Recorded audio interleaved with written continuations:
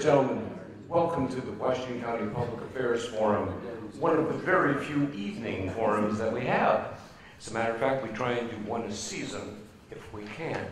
And sometimes we're lucky we get a fantastic topic and a fantastic speaker, and today is no exception. We're certainly very lucky. Give me just one quick moment. How many people have never been to a forum event before? Okay, I'm going to give you just the fastest history of the forum, and really, it will be fast because the forum's been around for 61 years. The forum's mission? To bring people to issues and issues to people. There are other civic organizations in the greater Portland area. You'll find they're often issuing reports, taking stands, telling you that you should vote this way on this initiative, you should support this person. I'm really, really proud of the organization that I have the pleasure of representing as president. We take no stands at all. Now, that doesn't mean we're not opinionated. Those of you that know me would probably be able to say that you know, I have opinions. Our entire board has opinions. But as an organization, we maintain neutrality. We want to bring people together to hear about issues, to learn about issues, to discuss issues. As such, we have been bringing speakers to the environments, the different environments, for over 61 years, as I said. Every Monday, September through June, except for holidays, we meet at noon with different speakers, different topics. You'll find a sheet on your chair which tells you just what's going on through the end of this year. The forum season ends on June 26th. We'll start up again the first Monday after Labor Day. We're not going to tell you who our first speaker is next year because, well, gosh, right now I don't know how we'd ever follow what we're about to present. But we have a wonderful history of good speakers. We have a good, hard-working board. And today, without any further exceptions, we have one wonderful speaker with one horrific topic. And yes, I said it's horrific because it's hard to understand, but I think we'll all leave here understanding a little more. a week ago Monday, we had Governor John Kitzhaber talk about Oregon's history with healthcare, and I think we all left a lot better educated. Today, the topic is somewhat larger. Ladies and gentlemen, without a long introduction for a gentleman who needs no introduction, Governor John Kitzhaber.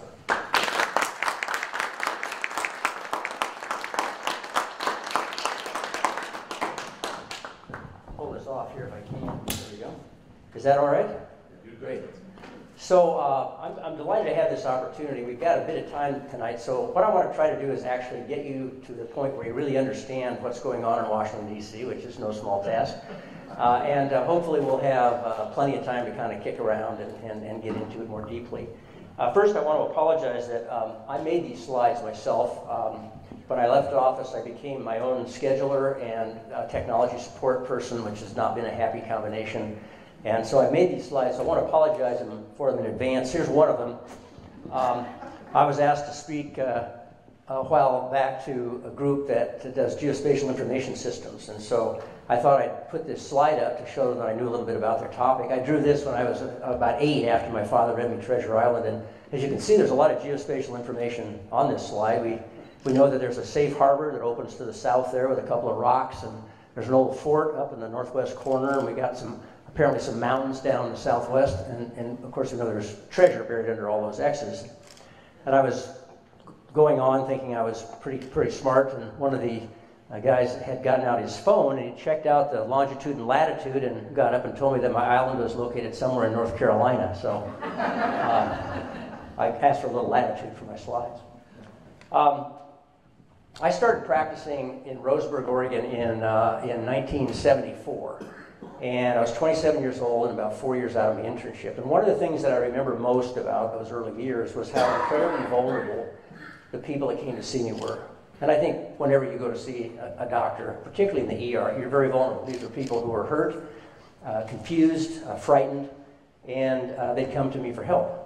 And they didn't know me, but they put their trust and, in some cases, their lives in my hand. And it seemed like a pretty big responsibility for a 27 year old guy. And I did everything I could to help them. Uh, that was why I went into medicine. I felt that that was my responsibility. So I, I, I, used everything I could. I used every bit of technology I could get my hands on, regardless of the cost. And sometimes uh, we weren't able to save someone. And I've been in that room many, many times when you just weren't able to pull it off, whether it was heavy trauma or whether it was a heart attack. And then I'd have to do something which, which I, I, I used to call walking across the hall. And the hall came in the ER through the big ambulance doors, and on the right were the big doors that went into the emergency room with the trauma bays and the, you know, the examining rooms. And on the left side, on the other side of the hall, was this room with a sofa and some chairs and a coffee table where the families of people who had come in by ambulance waited to find out about their loved ones. And uh, I hated walking across the hall. It just felt like this hopeless, long journey across 30 feet of tile with nothing but compassion and bad news to tell somebody that their father or their daughter or their husband was dead, that they'd come to me for, for, uh, for help, and I wasn't able, to, wasn't able to do it. And I think that it's that human element that is missing from the national healthcare debate. You know, our president has said, who knew that healthcare could be so complicated? But at one level, it's not complicated at all. It's a very personal event that takes place between someone seeking care and someone providing care, and it happens one person at a time. And that's just literally not in the discussion. This discussion has become very narrowly framed. It's very, very partisan, and sometimes I think it has more to do with who's going to have the advantage in next year's midterm elections than it does with solving a very real problem for, uh, for Americans. And it's created huge uncertainty. There's uncertainty about whether Obamacare will be repealed or not, and if it is, what's it going to be replaced with. There's uncertainty about the insurance market, what, what's going to happen to your premiums. And there's uncertainty for the 20 plus million people who got covered under the Affordable Care Act, and for millions of other people who are literally one illness away from personal bankruptcy. So let me just ask a question How many people here are on Medicare? So a lot of people on Medicare. Is there anyone on Medicaid or on the Oregon Health Plan, or have, has been? This gentleman on the Oregon Health Plan. How about people that have um, uh, coverage through the workplace? A few of those. And how about people who have coverage but it's not through the workplace? They have to buy an individual policy. Okay. So we have run the gambit here, and, I, I'm going to speak to each one of you as we go, go along today. Not so much to Medicare, because the Affordable Care Act really, really didn't do much to Medicare, and we can talk about that, but that's not really part of the national debate at, at this point in time. So, if we're going to solve this problem, it's first important for us to stop a second and ask what it is we're trying to do. Is the objective of our healthcare system to finance and deliver medical care, or is it to help people stay healthy? And they're two different things. And I think most people would agree that the objective here is health, right? So, if the objective is health, we need to recognize that health care is not necessarily synonymous with health. Healthcare doesn't have any, it's a means to an end, not an end in itself. I don't know anyone who wants attenuated flu virus squirted into their arm. They just don't want to get the flu. So healthcare is a means to an end, not an end in itself. It doesn't have any intrinsic value outside its relationship to a positive health outcome, except as an economic commodity, which is pretty much what's going on today. Furthermore, if you look at the things that have the biggest impact on your lifetime health status, healthcare is pretty, pretty small. Most of the things that affect your lifetime health status have to do with your genetics, have to do with lifestyle and behavioral choices, socioeconomic issues, whether you have a good job, a safe home, a stable family. And healthcare contributes only about 10% to the overall health of the population.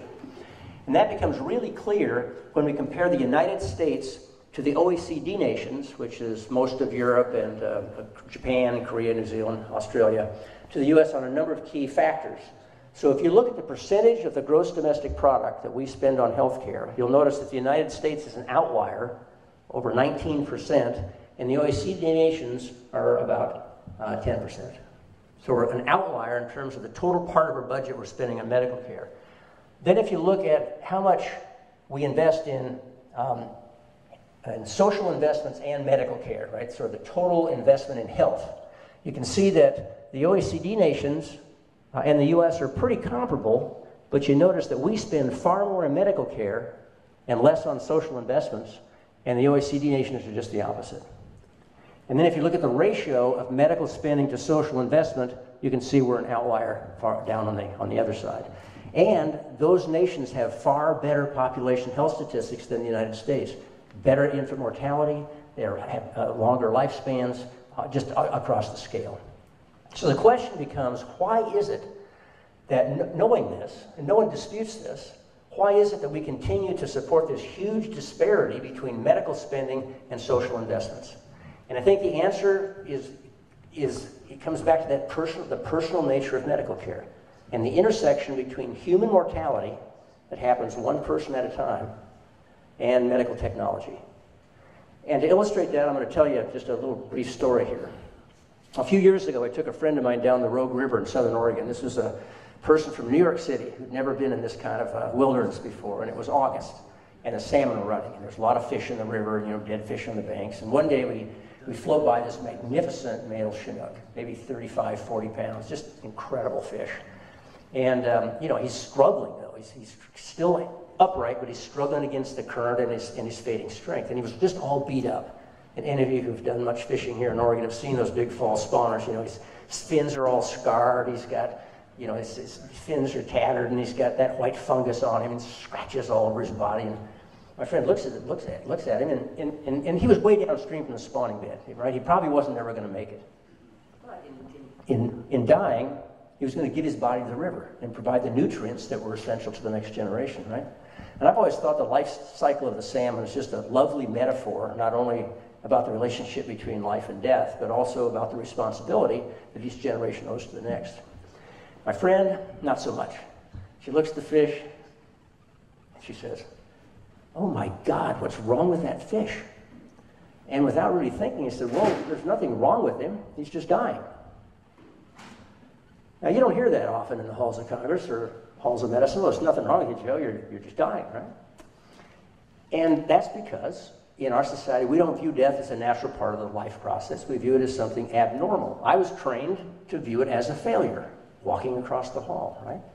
And no one wants to die, and no one wants to see their loved ones die. So we've developed this huge array of diagnostic and medical interventions with which we seek to treat disease and disability and stave off the inevitable consequences of aging. And that's produced this huge and increasingly profitable industry that is committed not just to developing new medical technologies, but to financing and delivering them for the benefit of individuals. And if you look at this from the individual standpoint, it is miraculous. I mean, what we can do today with medicine is truly miraculous for individuals. When you look at it on a social basis, though, there's a darker side. Because this wouldn't create a problem if everyone could afford the cost of his or her own health care. But we can't. Today, we increasingly rely on public resources to finance the cost of care for individuals. So we've got a system that provides unlimited care and benefit, one individual at a time, while relying on limited public resources to finance the cost of that care. So, really, at the heart of the healthcare debate is how we spend public dollars and who benefits from that allocation. People who can afford the cost of their own healthcare really aren't the problem. It's the rest of us, which is the majority of us. So our healthcare system has got two parts. It's got a public side and a private side. The public side has got Medicare, which is an entitlement program that everybody gets when they turn 65. And we're not going to talk a lot about that today. We, I'm not going to say that in, in my formal presentation, but we can talk more if you want a little bit later. Then you got Medicaid. Medicaid is a program for low income people, but when it was created, it wasn't for all low income people. It was certain categories um, pregnant women, families with children, people who were elderly and needed long term care, people who were blind or had disabilities. But adults without kids aren't covered by Medicaid no matter how poor they might be. Now, one of the things we did with the Oregon Health Plan back in, way back in 1989 is we said we want to get federal matching dollars for our Medicaid program for everybody with an income below the federal poverty level. So uh, and, and, we've done that since 19. So 20 years later, uh, the Obamacare moved that up to 138. But essentially, we changed that. But basically, the program isn't for all, all poor people. You have to fit into a category. And then on the, on the other side, you have commercial insurance. And you either have what's called group insurance, where you get it through your employer, so you're part of a large group that kind of spreads the cost out, or you have an individual policy. And individuals don't have that group, and those policies are really expensive, right? And then we've got this big gap people who aren't on Medicaid, aren't 65, they don't meet the categories for Medicaid, and they don't have a workplace uh, coverage for the workplace. We're the only industrialized nation that has that curious gap in coverage, but that's sort of the, the healthcare system. So here's what the Affordable Care Act did. Basically, it expanded Medicaid. It said, okay, everyone with an income below 138% of the federal poverty level is covered by Medicaid. They also recognized that individuals who weren't on Medicaid Many of them still didn't have enough money to buy a private commercial policy, so they provided subsidies for those people through the exchange, and the subsidies went down as their income went up. So those are the two main components, and it narrowed the gap. It added 20, 23 million people to coverage. It also did things like prohibited insurance companies from denying coverage because you had a pre existing condition. It let kids um, stay on their parents' policies until they're 26. And it also provided, it required a basic set of benefits. So, a really good, solid set of benefits if, you, if you're an insurance company and wanted to sell insurance on the, on the, uh, on the, uh, on the exchange. So, um, that brings us back to the national healthcare debate. Uh, one of my favorite quotes is from a guy named Thomas Pynchon in a book called Gravity's Rainbow. And he says, if they can get you asking the wrong questions, they don't have to worry about the answers. And I submit that both the Democrats and the Republicans are asking the wrong question, and they're trying to solve for the wrong problem. Did it ever occur to you that healthcare is the only economic sector that produces goods and services that none of its customers can afford, but all of whom will one day need sometimes literally as a matter of life and death, at which point the cost is pretty irrelevant to the person seeking care or the person giving the care. And the only way a system like that can work, or a market can work, is if that care is heavily subsidized. So, really, what the national debate is about, it's a partisan, bitter debate, ideological debate about who's going to get publicly, public subsidy to help pay for your, their health care and who isn't. That's what it's all about. Public subsidies. Now, it's interesting that both the Republicans and the Democrats actually agree on a number of things. You'd never know that from the rhetoric or from the news coverage. First of all, they both have recognized that, um, that Medicaid should be expanded to cover low income adults without kids. They call them able bodied adults, but, but not just the original categories. It should be expanded. So there's agreement on that. There's also agreement that some people with low incomes uh, need a subsidy to help them buy private insurance. And they've all agreed that nobody can afford the cost of health care, right? So that everyone needs some third party to help them pay. So that's either Medicaid in this case or the commercial market. So those are areas of agreement.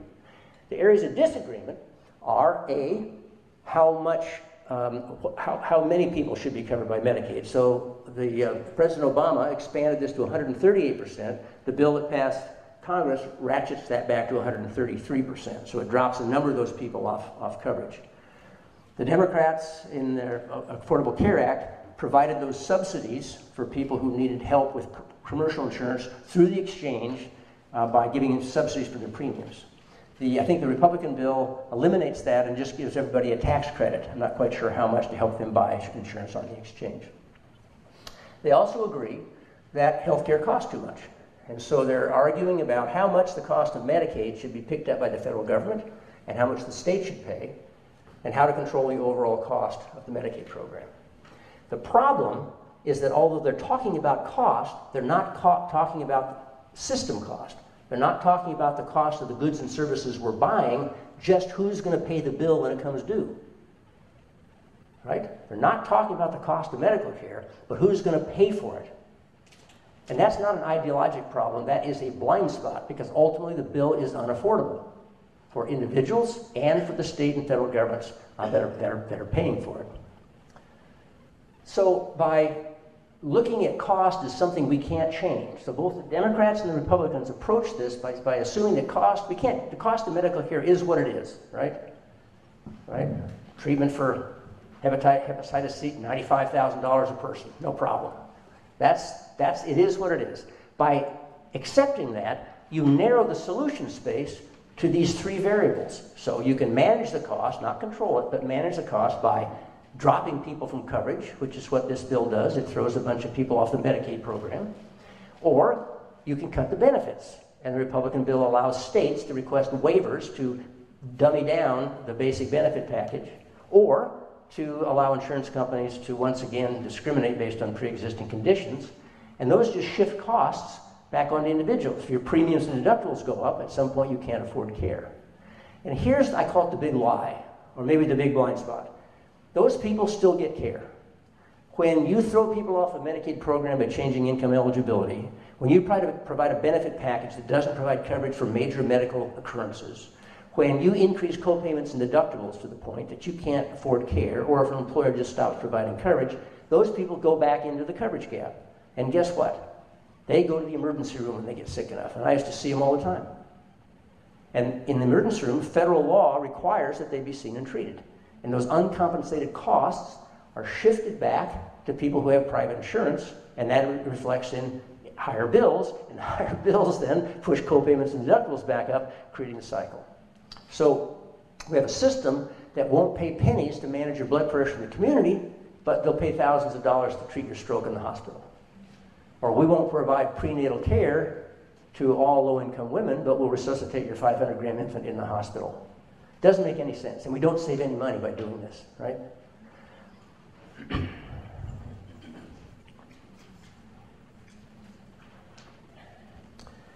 So, the thing that I think needs to change about the debate is we need to recognize that we're not solving for insurance. This isn't a health insurance problem, it's a health care problem. By, by assuming that actually we can do something about cost, by making it a vari- variable, you do that by saying, look, this isn't about making insurance more affordable, it's about making people healthier. And to make people healthier, medical care has to be affordable, but there's a lot of other things we have to do. We have to make sure that you have a good house and, and that you can get a good job, that you have a stable, attached family to raise your kids in, right? So that changes the dynamic uh, significantly.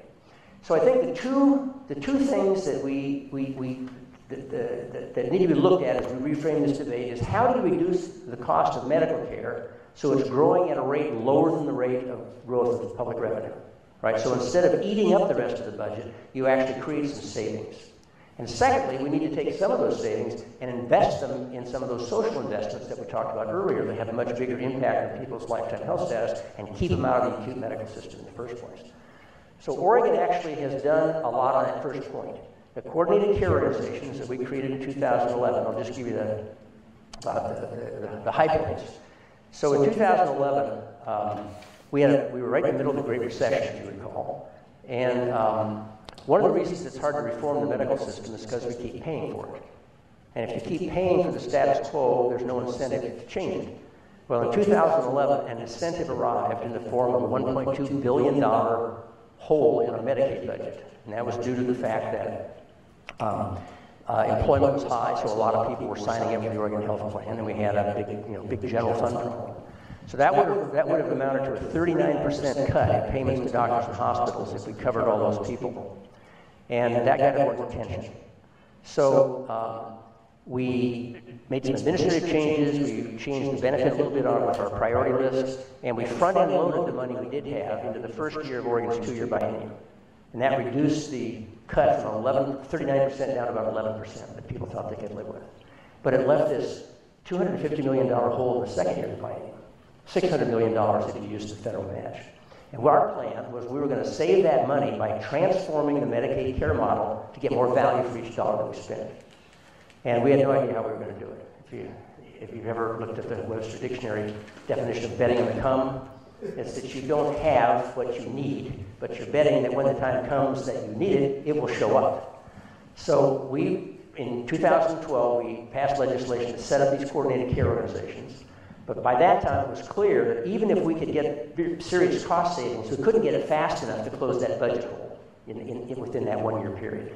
So I went off to Washington, D.C. on March, May 1st of 2012, and we convinced the Obama administration not only to give us the waivers necessary to use this new care model to provide Medicaid in Oregon, but we got a $1.9 billion five year investment in exchange for uh, not reducing any benefits for enrollment, and, but reducing the cost trend, the rate of growth of Medicaid from 5.4% per person per month to 3.4%.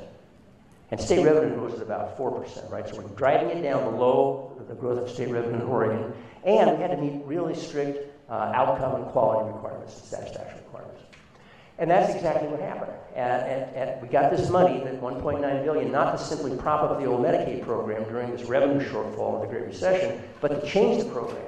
So that money gradually went down over five years as the cost savings of the coordinated care organizations came up. And that's exactly what happened. So over that five-year period, we've saved 1.7 billion dollars. That's after paying back the 1.9, and it's anticipated that over 10 years, the cumulative savings, both state and federal money from the Oregon, from the Oregon Health Plan, will be $8.6 billion. About over six of that is federal money. So, one of the arguments that the authors of the, the, the American Health Care Act, the Republican bill, is that they want to reduce the cost of Medicaid. And they're doing it by throwing people off the program and increasing co-payments and deductibles and cutting benefits. If every state reduced its Medicaid program commensurate to what Oregon did, the 10 year savings is $570 billion. That's without denying care, without denying enrollment, without cutting benefits. So the point is, we have demonstrated that it's, that it's definitely possible uh, to do that, and that should help inform, I think, the national debate uh, on, on health care. So, um, uh, the, so the next real step, I think, is to try to begin to um, um, again, drive down the cost of medical care itself so that it's growing at a, at a, rate slower than the rate of general revenue, and then reallocate some of those resources out into the community uh, to try to uh, address some of the social determinants of health. Now, I'm going to just say a couple quick words here, and then we, can, we can get into a discussion. But I think that, you know, Medicaid's about 14% of the, of the uh, it's probably a little bit higher than that now. It's probably about 20, a little over 20% with the expansion. So we have about a million people on Medicaid in Oregon, one out of about every four people. But ultimately, this kind of cost savings need to be driven into the private commercial market as well and Medicare as well, right? So it shouldn't be just the Medicaid program, it needs to be driven out further. And that brings us to this whole question of total cost of care. What we did in Oregon is actually reduce the total cost of care, or the rate of growth of that care. And we have a, um, a um, let's see, there we go. Am I going backwards? There we go. We have something called the Oregon Healthcare Quality Corporation that we created in, let's see, probably 2003, first time around. Uh, it, it, looks at cost and quality issues, and they issued a report in February, and you can look at, on, look at it online. They compared five regional commercial markets Oregon, Utah, uh, Minnesota, St. Louis, there's one other in there. And they compared them in terms of quality and, and cost. And what they found is that um, while Oregon had the lowest utilization, that is, we had the lowest rate of using hospitals and ERs and medical, you know, of all five regions, we had the highest costs, 17% above the regional average. And they estimated that if the, if, if the two highest cost regions, which was Oregon and Minnesota, were re- to reduce their cost just a tiny bit, 2.5%, about $9 per person per month, you'd save $200 million a year across all commercial payers. And in Oregon, we had 143 clinics that participated in this study, um, all primary care clinics, and they all had to have at least 600 commercial insured people. So this, so this was in commercial insurance. And the upper left-hand quadrant is high quality, low cost, and down here is, is high cost, low quality. And you can see they're all over the map.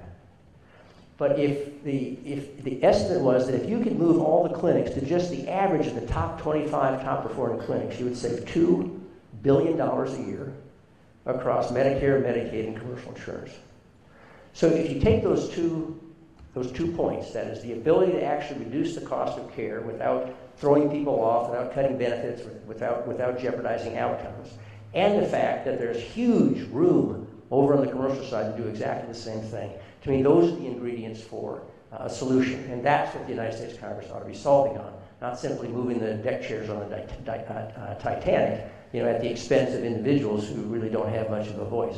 And we can do this. We've demonstrated here in our state, and I think that uh, we need to do all we can to change the debate in D.C. and, and hopefully have a much more productive outcome than we've seen every over the past six years. So with that, I'll stop. Thank you very much. Thank you very, very much. Folks, for those of you that aren't familiar with the forum, and I know a few more people have come in since we started, at our regular noon lunch meetings, Mondays, September through June, you need to be a paid up member of the forum in order to ask our speaker questions. And many folks here I know are paid up members. But what we decided to do for our evening program is if you have a question of interest, if you have a question that you'd like to ask the governor, please line up over there. There's the microphone, and you do not have to be a member. But just, you know, in case you want to feel guilty and discuss about how the forum manages to stay alive, we do that through donations and memberships. If you're interested in joining, let me know. See, uh, see me, see our treasurer, we have, who will raise his hand. There he is. And we have board members around. But today, it's about a conversation on health care. Ladies and gentlemen, if you'd like to line up for questions, that'd be just great. And I'll turn the mic back over to Governor Kitzhaber.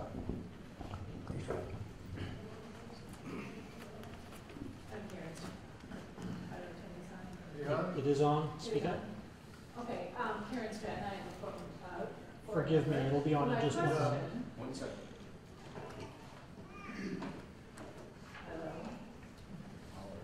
Try, try again, please. Hello, there we go. All right. Karen Stratton, forum member. My question is what exactly or generally did you do to reduce costs in Oregon? So basically, um, uh, the, the, most, the single most important thing is we cap them. I mean, we, what we did is we, we, we basically agreed as a part of the waiver to, to limit growth to 3.4%, right? So, so there was a, a, a, a limit. That created a whole set of incentives to change the way care was delivered. So one thing is there was, the care was coordinated. Instead of, so most of the people the, on the Oregon Health Plan now have a primary care, uh, a, a um, patient-centered primary care home. So it's like a team. So they, that helps them coordinate the care so they're not looking through the system to try to find the care they need when they need it. It would dramatically reduce ER visits because people had a place to go uh, to, to be managed. There became an incentive then for the hospitals. So a hospital gets a bunch of money every time they put somebody in the hospital, right? And, and so there was an incentive to admit and readmit people to the hospital. But now, since the budget's limited, they're going to make more money by keeping them out of the hospital, right? So there became a much more intentional, when you were released with congestive heart failure, a team would go out and meet you at your home and make sure that you were taking care of yourself so you didn't have a reoccurrence of that congestive heart failure. So basically, there was an economic incentive, there's no question about that. That cap changed the internal incentives, and then there was this, um, this effort to coordinate care uh, and a, a real emphasis on, on primary care. Can I follow up? Of course.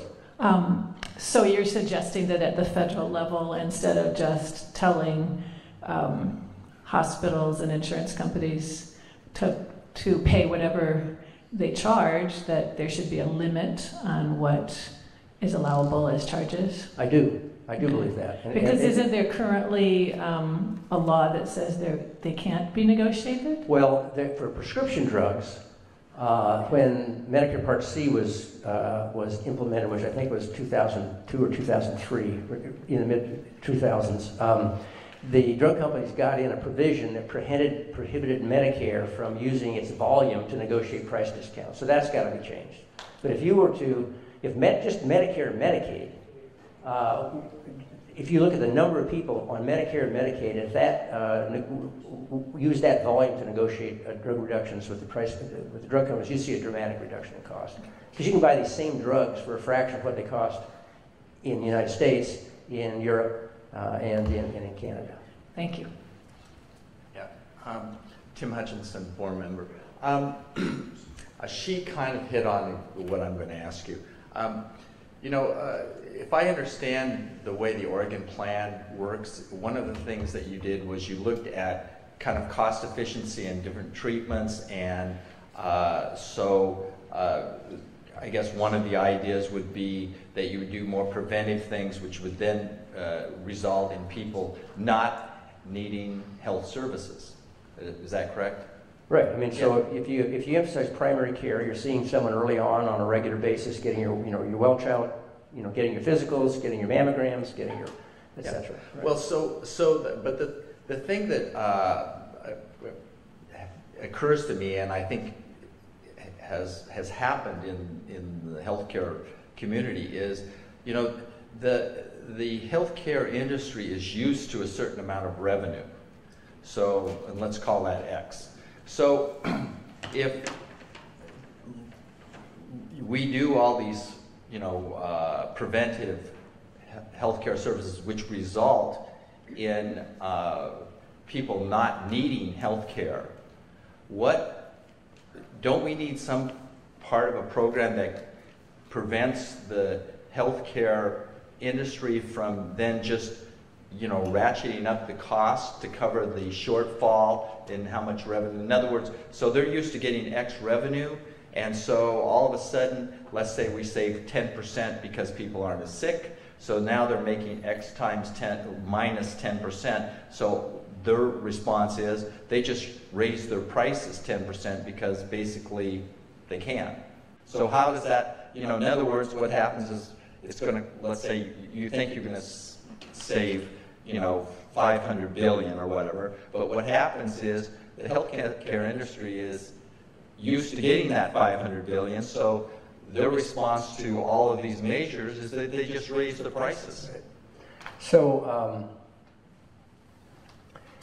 first of all, I think the most important part is to move from fee for service to a capitated system. So, fee for service, that's how I was trained. So, you come to me, I do a bunch of services, and I get paid for each service. So, the incentive is the more I do, the more I get paid, right? Um, that, that's sort of ass backwards if you think about it, right? I mean, all the incentives are all the wrong way. So if you if you are capitated, you have a certain amount per person. Uh, obviously, you're going to try to figure out how to keep that person well. Now, the old HMOs in, the day were really, in many of them, sort of driven by the accountants. They were just trying to figure out how to reduce cost because they weren't required to meet outcome and quality standards. But what we did with the coordinated care organizations, you were, you were it was definitely capitated, but you also were held to very high standards in terms of outcomes and quality. So that created the incentive to begin to reorganize the system. Now, it's very true that uh, the healthcare industry is 20%, almost 20% of our economy. It's huge, right? Uh, in Portland, about half the biggest employers are hospitals and health systems. If you go to rural Oregon, some of the, the biggest employers are often hospitals, right? So you have to be, you have to recognize that this, A, this isn't going to happen overnight. B, we're not talking about, we're talking about reducing the rate of growth. We're not talking about sending it down, right? We're going to reduce the rate it's increased. And you have to recognize that it's going to take, you know, it took us five years to implement the coordinated care organization. So going, there's going to take, there's going to be a glide path when you, when, when these changes have to take place. And you're going to face things like, what are you going to do if you reduce the number of ICU beds in a hospital? What are you going to do with a $75,000 ICU nurse? And the answer is create a, a $75,000 community health worker that's helping people with congestive heart fa- failure stay at home and not go into the hospital. So it's not about, it's basically changing, you're going to have to do some workforce retraining. And, but, that, but if you have five or 10 years to do it, you can get ahead of that curve. So this, this is, you know, at the one, at the thing we had, um, the forum we had at, um, uh, about a week ago, I had this little spiel. I don't have it on these slides, but you remember when? Uh, how many of you remember when Jack Kennedy gave the speech about going to the moon? Some of you were alive then, right? And you know, it was just really stirring, if, if, if you remember. And he didn't give us a roadmap. He gave us a destination. He said, "This is where we're going to go," and it, it, it galvanized the passion and the ingenuity and the creativity of this nation, and we did it in eight years, right? And surely, if we gave ourselves eight years to figure out how to shave two or three points off the total cost of care, then those questions are going to arise. It's not going to happen overnight. There are real obstacles and issues, but let's get them on the table. Let's, let's decide this is where we're going to end up. So the question becomes not what we're going to do, but how we're going to get it done. And I think that's the real key. Uh, Spencer Erman. Spencer former- Erman, forum member. If any of it. If any of for- it, for those of for us for who those have of us who have been in a hospital and received medical care um, um, And have looked at our looked at our hospital bill, We see. we and we've see, had and we've had insurance. insurance, Um, we'll um, see we'll that see maybe the that bill maybe was the bill for was for a thousand dollars, And that. and that the the insurance company paid. paid uh, three hundred dollars. Uh, How can we How can we begin begin to think about the think cost about of the cost of healthcare healthcare when it's so when it's so difficult difficult to to, for as a for as a consumer consumer to see what the cost see of what the cost of healthcare healthcare is? I'm the consumer. I'm the consumer. But I'm really not. But I'm really not. My insurance, My insurance company, company is is the the consumer. And they've, And done, a they've deal done a deal with the hospital, with the hospital or with the provider to say, to we'll pay we'll X. pay X, We'll pay a third. we'll pay a of X third of X for a, for, a know, you know, for, a for, given for a given procedure. procedure. Um, how do I get? How do I involved? get involved in that? Well, I'm, well, I'm, um, I, I'm not, I'm not opposed to the free market at all. free market's Free great, market's but it doesn't great, work but it with doesn't work with healthcare.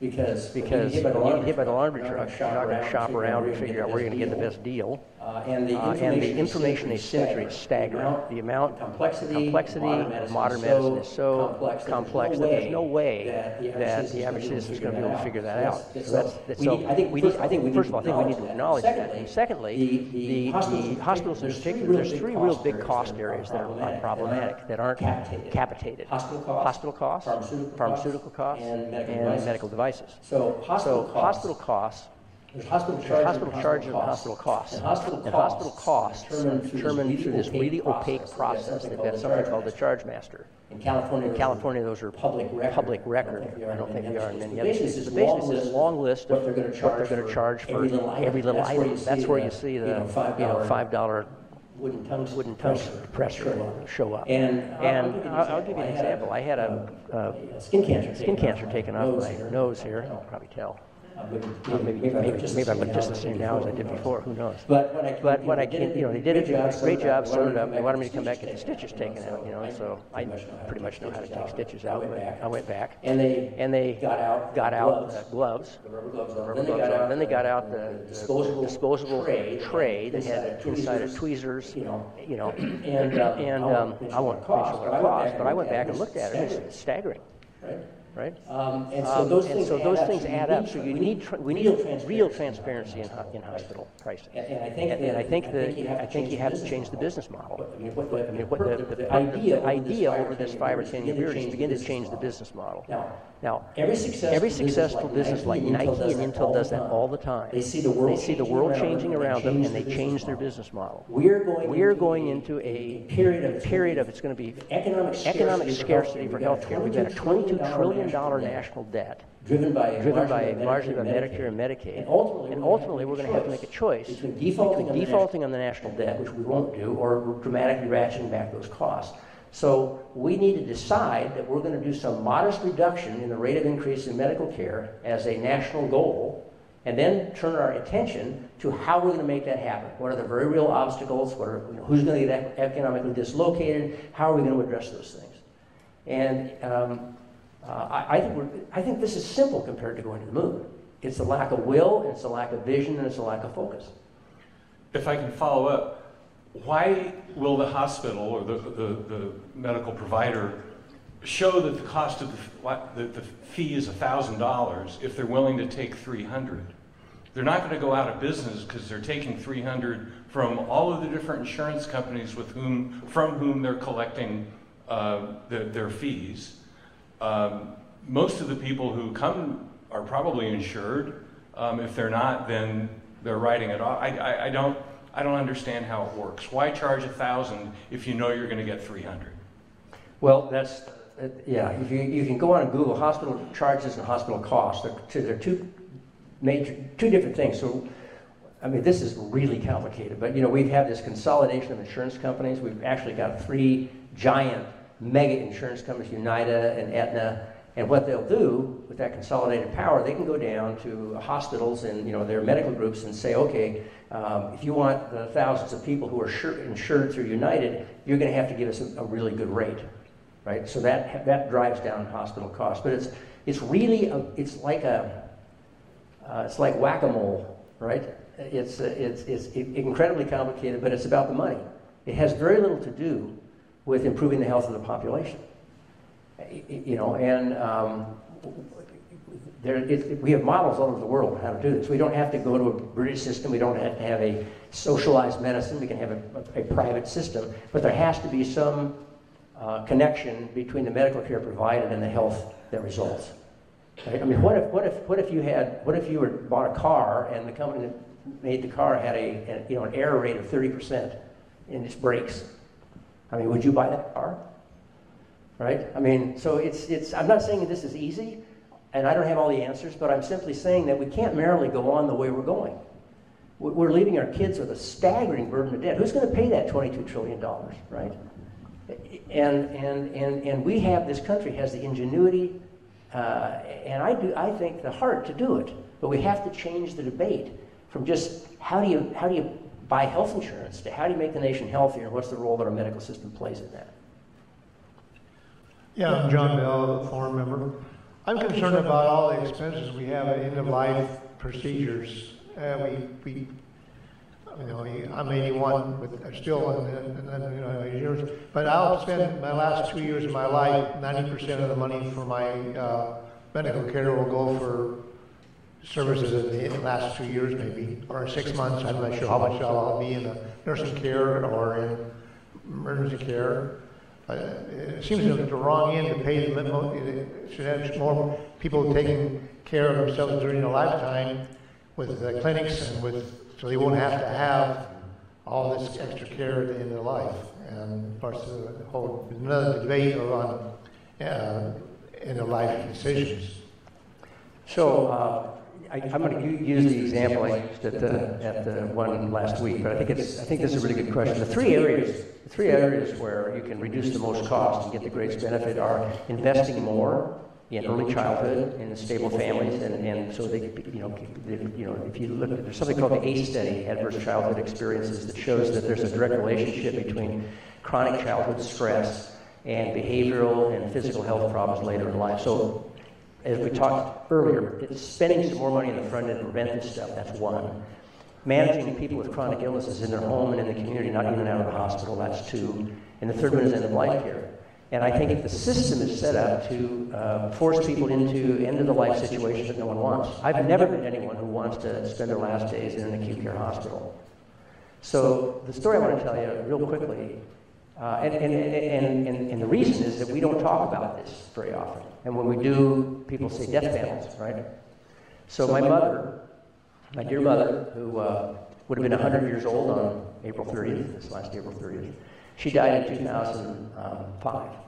And she was 88, and she um, was very frail, and uh, she developed a lot of muscle pain. So I took her to the doctor, and uh, the doctor, um, she had uh, what's called a high erythrocyte sedimentation rate, which is a non-specific indicator of inflammation, really high, and she has blood in the stool, so all the likelihood of some kind of an occult cancer.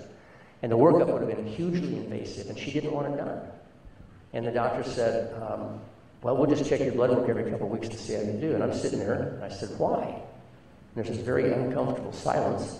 And I said, you know, if you keep checking your blood work on an 88-year-old woman, you're going to continue to find abnormalities because she's 88. And if you're not going to track them down, why do the blood work? I have a friend that said there's no such thing as a healthy human being, only one who hasn't had enough diagnostic tests, right? so I took mom home, and the quality of her life just changed dramatically because she and my father, who was 90, had been living around the lab. You know, what's my blood count? You know, what's the Coumadin level? How do I have to adjust my medication? So they were li- consumed by their mortality that they couldn't control. And they let go of that and they embraced what they could control, which was this lovely 65 year marriage they had. And she lived another three months, never went to the doctor again, and died um, of congestive heart failure. And, you know, it was very sad, but she was in bed. My dad was there. We were all around her. We had the Messiah playing out in the living room. It was beautiful. And here's the point about end of life care. So, no one had that conversation with her earlier when she was 40 or 50 about what she wanted for the end of her life, how she wanted to be, who she wanted to be there. and there's this point where you, you, you, it, there's a difference between cure and care. And like the salmon story, you know, death, one per person. And, and at some point, you are no longer in the curative phase, it's a caring phase, right? And Medicare would have paid to put her in the hospital for congestive heart failure, atrial fibrillation, uh, all sorts of things, and the ambulance to take her there. But at the time, it didn't pay $18 an hour for a non hospice caregiver to take her to the bathroom, do the housekeeping, buy her food, and help her around the house. And um, I believe that you don't have to tell anyone they can't go to the hospital. But I believe if that conversation was reimbursed, if, if, if, it was prioritized, if a social worker or a nurse or a physician could have that conversation with people when they're 40 or 50 and with their kids, um, and if we paid for those kinds of things, most people would choose not to go to the hospital. And you'd save a lot of money and have a lot of people who would die with dignity. So I, I just think it's, again, it's, it's, that's a, a, it's not an insurmountable problem. It, the system is, is misaligned with what I think most people most people want. So again, if we're if, if we're if we care enough about this, if we care enough about our kids and the, the, sort of this legacy of debt we're leaving them, driven by the medical system, we should be having those conversations with one another and, and the people who represent us. This isn't rocket science. This isn't going to the moon. Good evening. I'm Marilyn McWilliams, forum member. Um, if I can, if you'll excuse me, I'm going to uh, remember a, a, research study I read years ago showing that people who um, throughout their life have had very little care, they had no access to health care. Typically, that, that's the group of people who will go in the ER and insist on every kind of you know, end of life treatment to try and preserve their, their, their life. Um, so I, I, really think that we're on the right track with the, the Affordable Health Care Act. Um, I, I wanted to ask about uh, rural areas. Uh, Oregon, I think, is a good study here. It seems to me in a lot of Oregon communities in eastern Oregon, we have um, a lot of ranchers and people who are um, not making millions of dollars. It's probably hard for them to pay a lot for their health insurance and so on. And I'm just wondering what's happening to um, the rural hospitals. How, how do they stay in business? Are they have to, having to depend on the state for subsidies to, to keep them? Yeah, so rural, rural, rural medicine in general, rural hospitals in particular, is really a challenge. Uh, we call them A and B hospitals, and there's another category called frontier hospitals, and they're paid differently. They're given some, some additional uh, uh, support, but they're, they're, they're pretty frail. They're pretty frail, but they're incredibly important. You know, a hospital in rural Oregon isn't just a hospital; it's a gathering place, it's a community center, it's where people go if there's a natural disaster, right? I mean, so there, there, there there's multiple values there. So, I think that when you're trying to solve this problem, the answer looks different in metropolitan parts of the state than it does in rural parts of the state. They have fewer practitioners. Telemedicine may be something more important uh, in those areas. But um, the, the, one of the beautiful things that the coordinated care organizations are learning is that we've got one coordinated care, it's called Eastern Oregon Coordinated Care Organization, which is almost all of Eastern Oregon, right down to Klamath. It's huge. And we've got one down in Klamath Falls, so, and we've got one in Coos Bay. So there are areas where they're experimenting and learning about how uh, uh, pr- providing affordable access to care in rural parts of the state uh, is, is, it has to look different. But um, uh, um, it, it's very possible, but, it's not a one-size-fits-all at all. I mean, geographic and, and, and rural parts of the, state need to be looked at somewhat differently.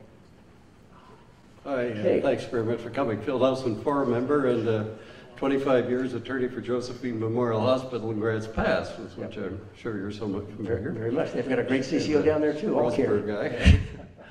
Uh, I really feel there's a little elephant in the room, or a big elephant in the room, and that's publicly funded health care, which apparently works elsewhere. And I'm wondering, when 70% or so of the people apparently wanted it, we wound up with the Affordable Care Act, uh, what's going on with the government, and uh, is, is there a problem also, uh, other than politics, with kind of our society generally in terms of uh, our healthcare running twice what uh, European countries' healthcare runs from maybe personal habits and social services and stuff. So I wonder if you could talk about publicly funded healthcare and maybe if that uh, is uh, affected by uh, kind of the American lifestyle. Thank you. Yeah, i- is my slide still up here? If I were to go one direction or another? I'll make that happen. Can you? I, got- I, I, I thought this question might come up. I have a slide on it. So, you know, the, the interesting thing about the United States is, you know, we're, we're uh, on the one hand uh, sort of rugged individualists, right? Uh, but healthcare is something that no one, that none of the rugged individuals can afford. And, and the, the, the, the, the big, so there's a cultural thing. I mean, I do think there's a different sense of solidarity in European nations. I mean, they pay a higher portion of their taxes for social services. It, I mean, it's, it's, it, they're, they're used to that, right? It's, it's, it's, a, it's sort of a different culture. We're completely different than that, and I'm not saying one's, one's better than the other. But in this instance, um, get down here to the last slide. Um, let's see, am I? Here's the thing that, that we need to factor in. We have universal coverage. We have universal access. This is called the ER. So we end up, as I said, treating strokes rather than managing blood pressure. So it costs us a whole lot more as a society, both in economic terms, but also in human costs, by not having some kind of basic floor, right? Because everybody's going to need medical care. And the, uh, you know, when you talk, some people talk about a single payer system as like the answer. If, if, if you have a single payer system and still paying for a hyperinflationary medical system, you haven't solved the problem. You're, you're, you're, you've changed the way you're going to play, pay for a, a system that needs, so you need to do two, you need to do both. So we're creeping towards that right now. I mean, the number of people on Medicare and Medicaid, that is a publicly financed system.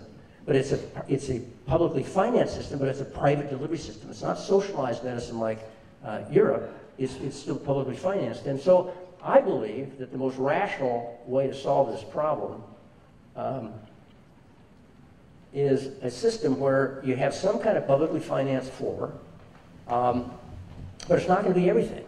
And one of the things we learned in Oregon, we established our priority list, right? So there are limits. And um, uh, I'll get in a lot of trouble for saying this, but um, choice is a matter of disposable income. We may not like that, but it is. Uh, public housing doesn't look like Ritz-Carlton. Uh, public transit doesn't look like the bullet train in Japan, right? Uh, so the fact is we do have limited resources. So the question is, you need to have a basic floor. It needs to be a defined benefit, and it needs to be uh, evidence-based. That that it, it, that it and um, it has to grow at a fixed amount, as we as we discussed. And I think there's more than enough money in the system to provide everybody with everything that would would would have a, a positive in, impact on their health. And then you have a system above that where people can buy additional things if they want to, but they have to do it with their after-tax dollars. It's not subsidized, right? Um, I'll give you an example. Um, public education, everybody has agreed, well, maybe not the Secretary of Education, but everybody, most people have agreed that public education is a public good. And that's why we, we all pay, everyone who pays taxes pays for public schools, whether you have kids in school or not, rich people, poor people, we all contribute to our public education system. And all our kids are eligible for public education. And uh, they all get, if you will, the same benefit which is 12 years in the public school system. You can argue whether that's a good benefit or a bad benefit, but they all get the same thing. Now, if you want additional services, if you want, you can buy a tutor for your kids, you can buy them extracurricular activities, but you don't you do that with your after-tax dollars. That's a choice you make, right? And when we run out of money in the public school system, when it gets tight, we don't change eligibility. We don't say, well, um, we're not going to teach the 11th grade this year. Or uh, let's see, your family makes $25,000, your kids can't go to school. We don't do that. We, we never change eligibility. We never argue about it. School year gets longer, just get cut. The benefit gets re reduced, but everyone stays eligible. Compare that to the healthcare system. We don't do that. What we do is we maintain the benefit, whether it's good or bad, and all the inefficiencies, and we throw people under the bus. So to me, this makes imminent sense. It would cost far less. You wouldn't have to worry about uh, holding onto a job. Employers wouldn't have to worry with this hassle. You wouldn't have to do income. You wouldn't have to do the the, um, the administrative cost of, of uh, eligibility determination. It's a huge cost. And Medicare's got a very simple uh, and low administrative cost because when you turn 65, you're eligible for Medicare. Not to say there aren't problems with the Medicare program, but we have to distinguish between paying for health care and what we're buying. They're, they're two really different things. And and uh, since Congress is arguing just about the payment side, this solves a whole host of problems. And you know, the argument is it's an entitlement. Well, unless you change the federal law, the ER also is an entitlement, right? And if, so the people that don't want to provide some entitlement to a basic level of care, the only way that works is if they pass a bill that says if you come to the ER and I do a wallet biopsy and you're Blue Cross negative, we'll let you die in the ambulance ramp. And no one's going to do that. So we're already doing it. We're just doing it on the back end in a crazy and inefficient way.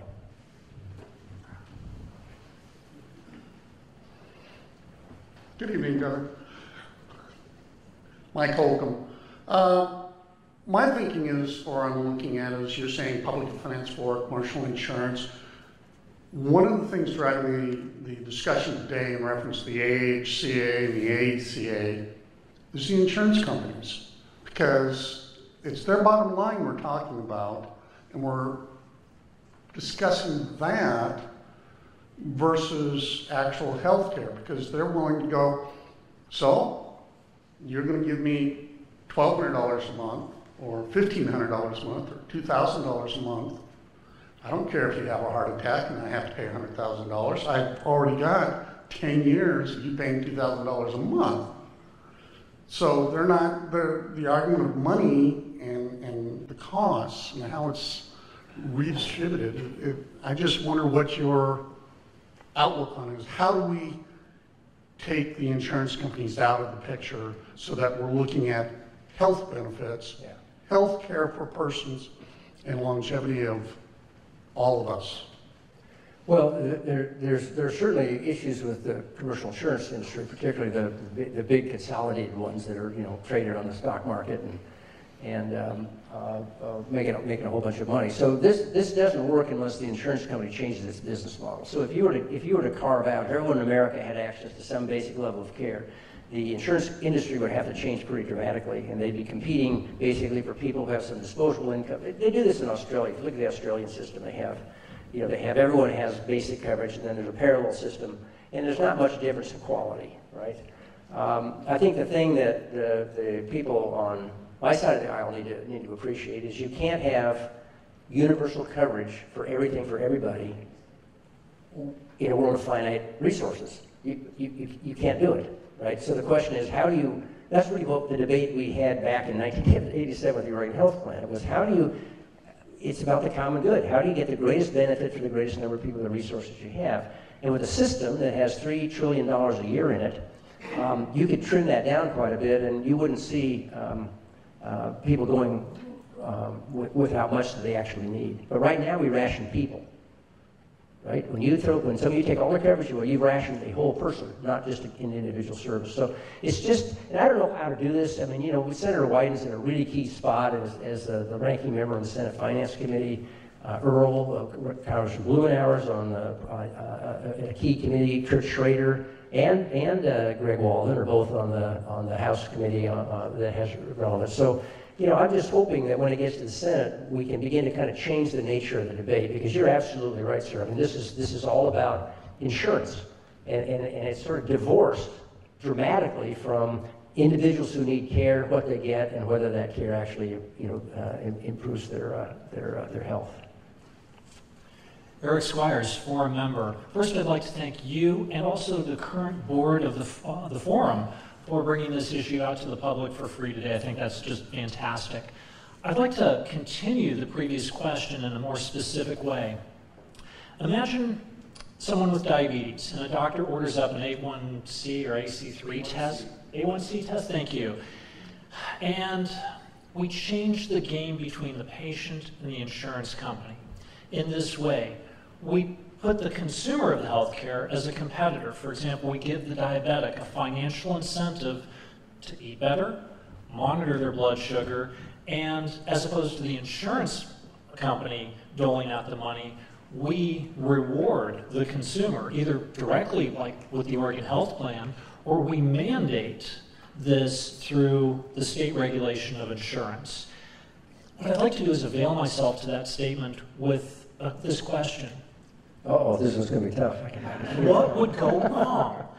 Who, who would start, the insurance companies start squealing, there's somebody competing for my money. Uh, the diabetics might start gaming the system.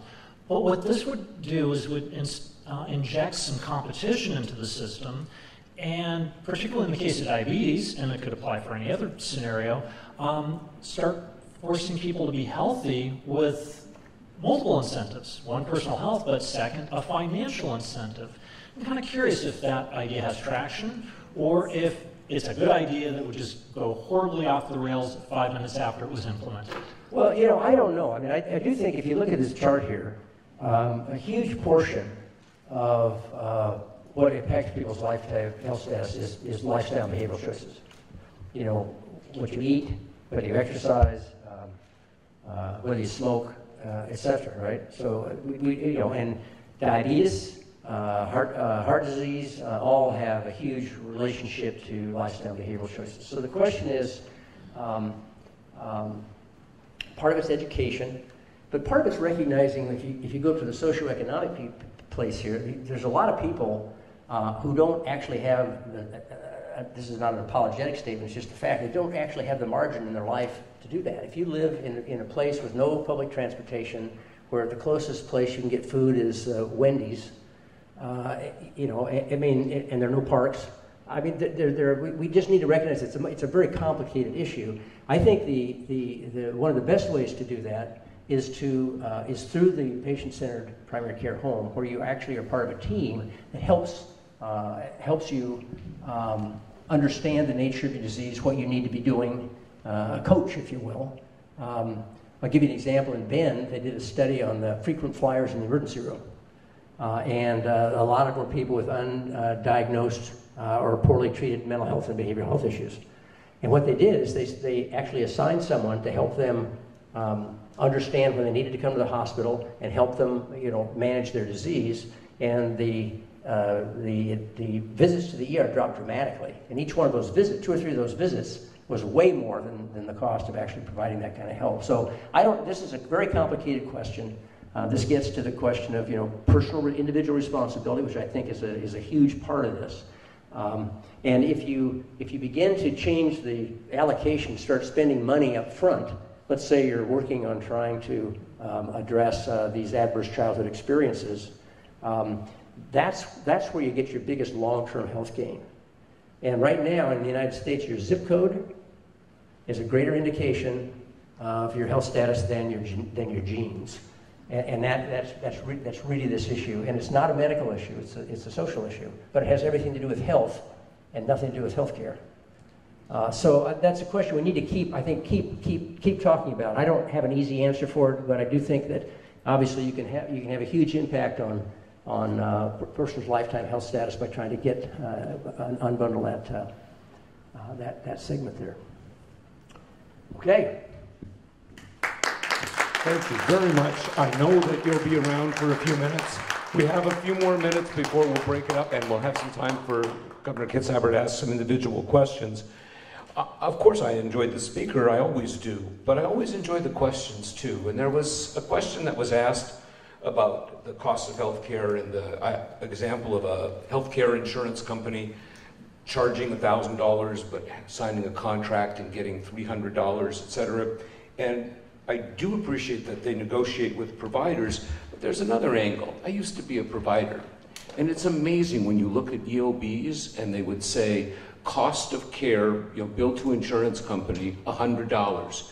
But because you chose Rob Solomon and we got him real cheap, we are only paying him $55. Aren't you cool? You're going to stay with our insurance company. There's that level of marketing with insurance companies too, not just in mental health, but in hospital bills too.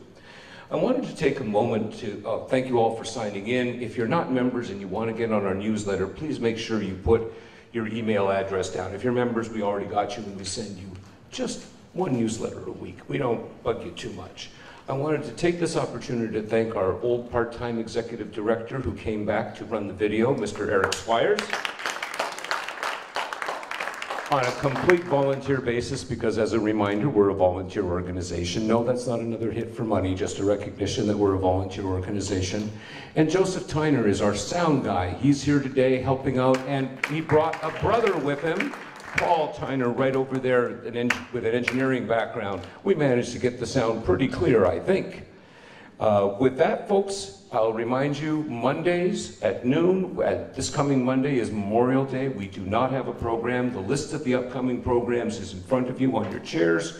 And on June 5th, we're looking forward to hearing from Erica Stock, the director of the Sierra Club, Oregon chapter, talking about the challenges to environmental advocacy. There's challenges in healthcare, there's challenges in environmental advocacy. There's an awful lot to talk about, and the forum is proud and pleased to bring you important issues. And one more time, thank you, Governor Kitzhaber.